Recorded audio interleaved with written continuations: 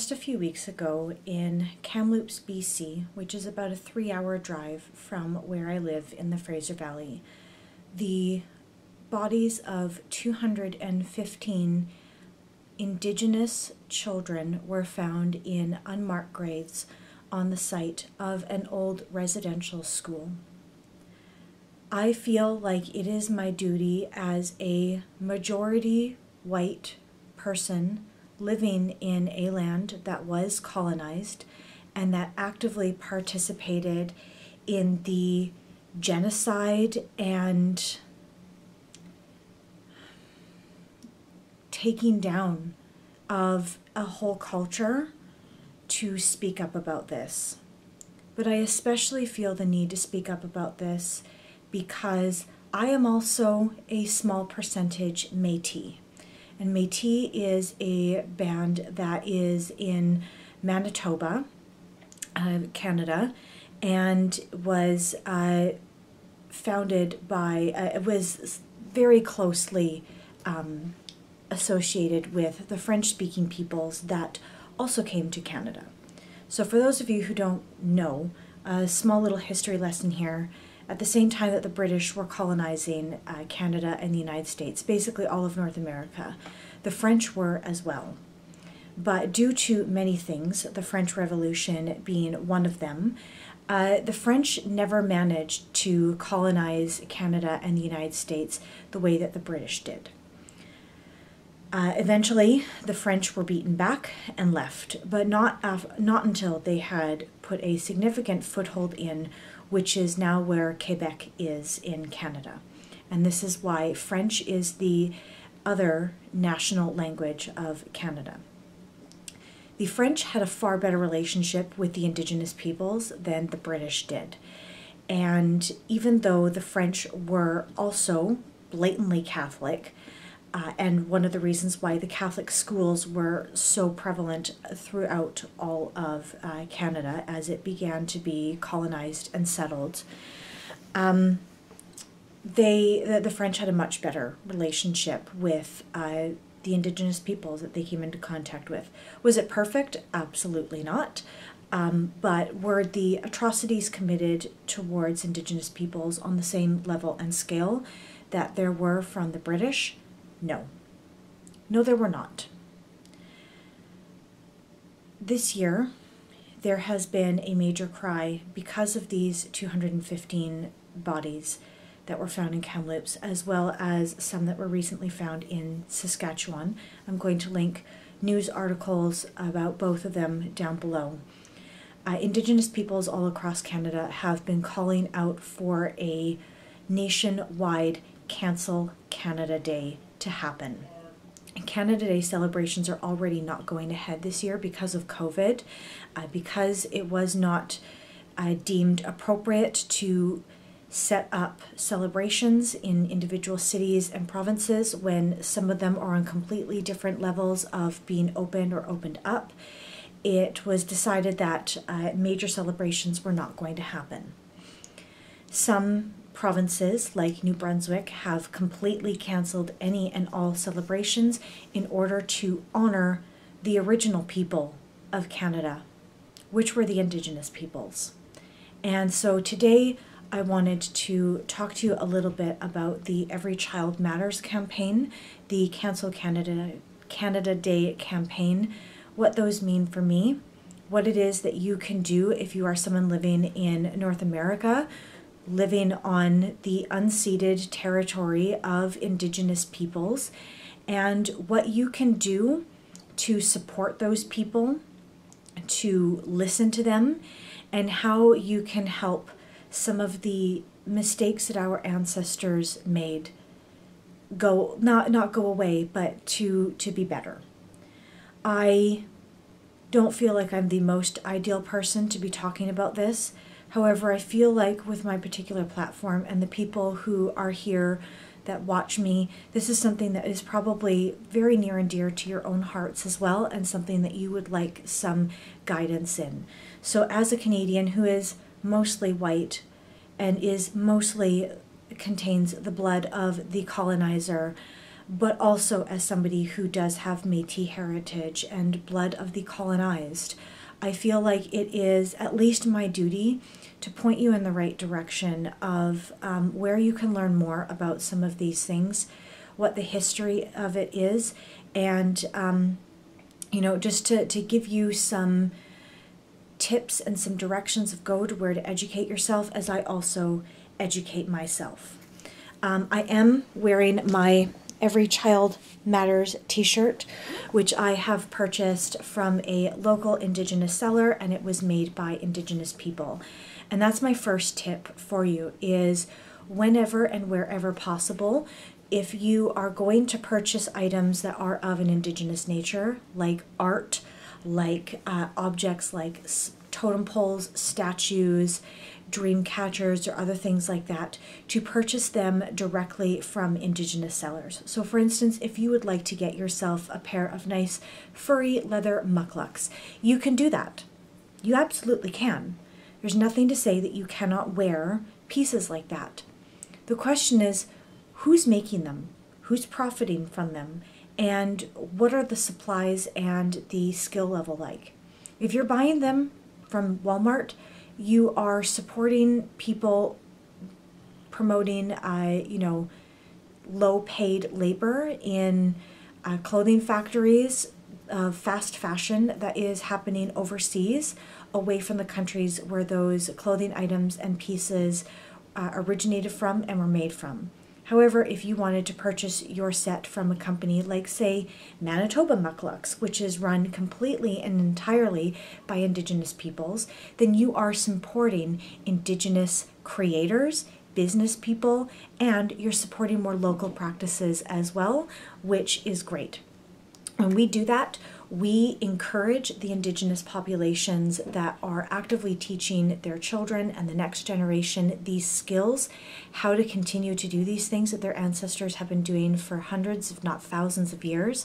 And we also put the money back into our own economies, into the our, our lo- local populations and our own country's economy, and not into the pockets of big businesses that are capitalist and greedier in nature yes, all businesses are out there to make money. That this is this is not a fact that's up for dispute. This is how it is. However, the intentions and the practices behind a company like, say, Manitoba Mukluks, or a company like Joe Fresh or George, a part of Superstore Loblaws or Walmart, are completely and utterly different. And in one, you support ethically made pieces that are done usually on a smaller scale with higher skill level and higher quality of materials and you're supporting local people to continue to do what they're doing or you can support big businesses which quite frankly just don't give a fuck about you or I as long as we continue to put money back in their pockets. Another thing that we can do to support the community is to listen we need to remember that however uncomfortable it feels to realize that our ancestors actively oppressed, suppressed, murdered, humiliated, and stripped away the culture and identity from an entire population of people, as uncomfortable as that knowledge is for us to come to terms with, our discomfort pales in comparison to the discomfort that these cultures have had to deal with for generations now. The thing about residential schools that a lot of people don't seem to realize is that they are still within living memory. The last residential school in Canada closed in, I believe, 1994. I will find out the accurate year and throw it up on the screen for you. 1994, if that number is correct, I was nine years old. I was in fourth grade, attending a public school that was free for my parents to send me to because of their tax paying dollars. And at the same time that I was learning about the Haida and other peoples who are local to my area, there were people somewhere within Canada of Indigenous descent that had been forcibly removed from their families, forced to stay at residential schools and were not allowed to speak their cultural languages, were not allowed to wear their cultural um, garb and um, traditional hairstyles. They were not allowed to have traditional tattoos. They were not allowed to partake in things like powwows and traditional dances. The number right now of estimated number of children, children who died at the hands of the people who forced them to be in those residential schools in the first place is somewhere in Canada around the 5,000 mark. 5,000 thousand.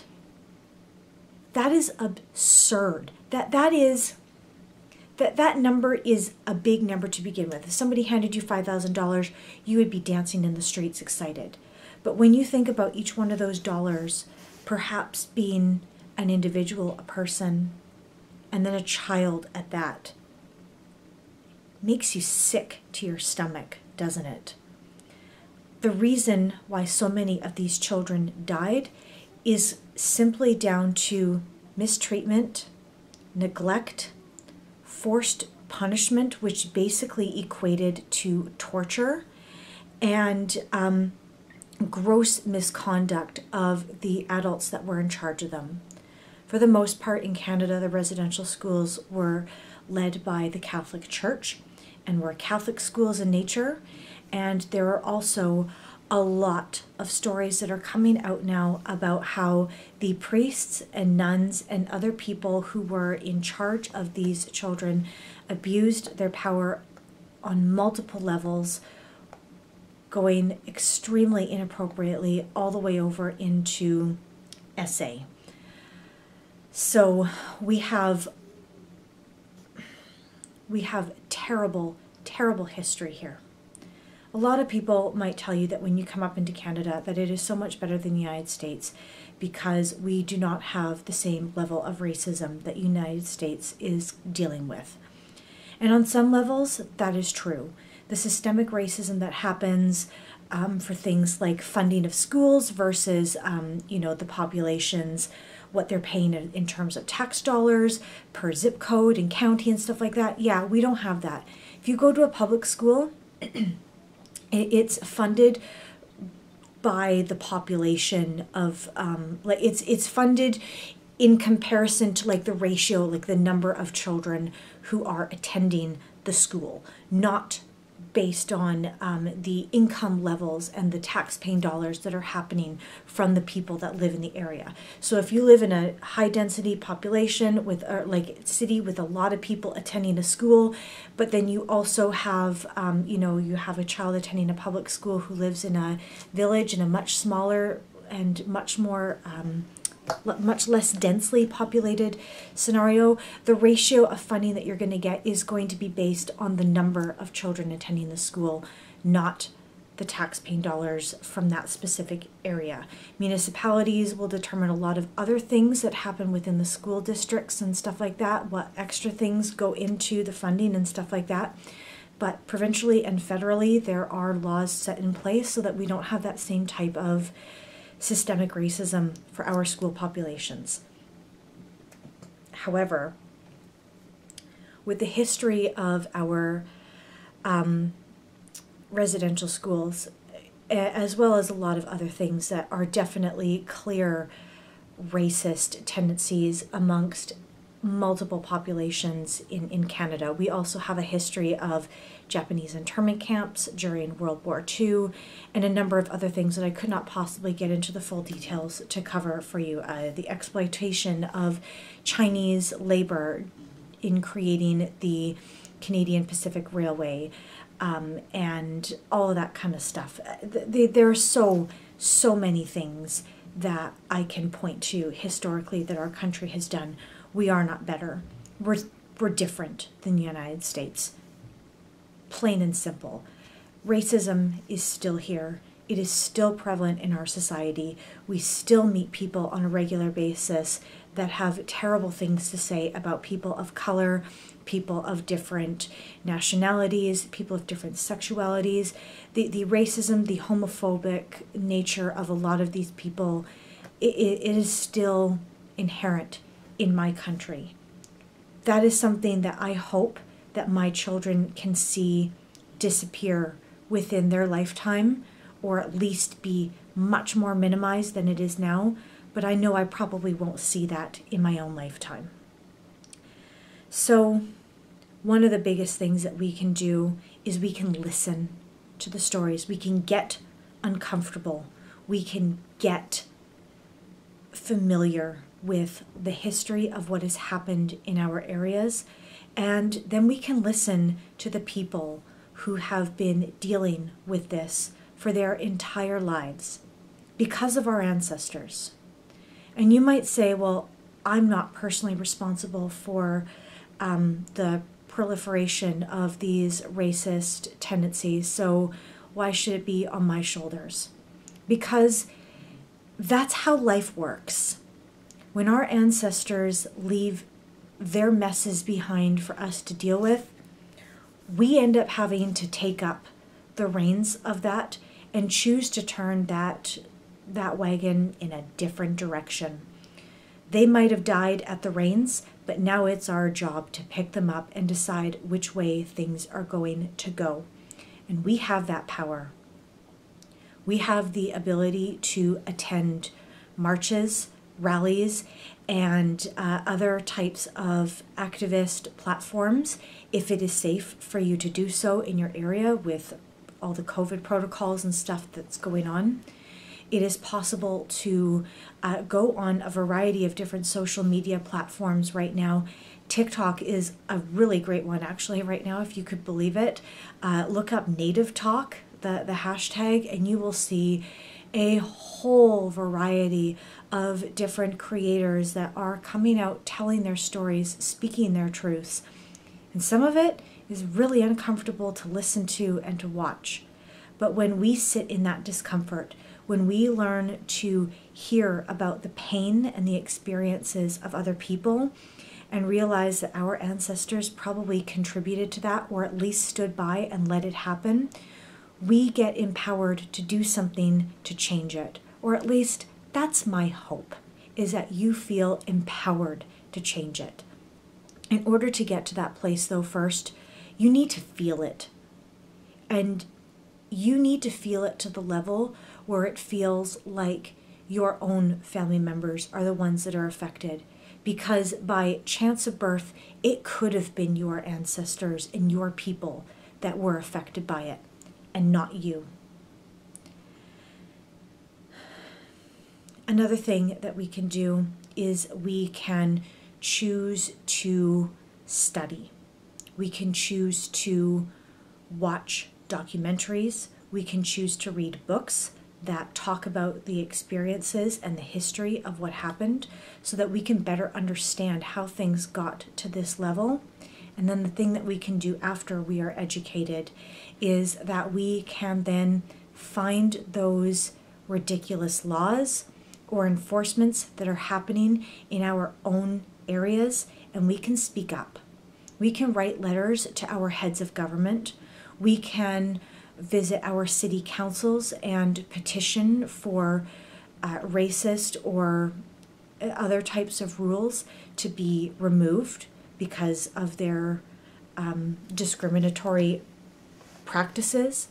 We can choose to uh, associate with people of Indigenous uh, descent and we can ask them what they personally would like from, from you as an ally, what you can do to support them and to help them. Maybe based on the individual, they might want you to listen to their stories and understand them. And they might just want to be heard for once and to feel like somebody is really listening.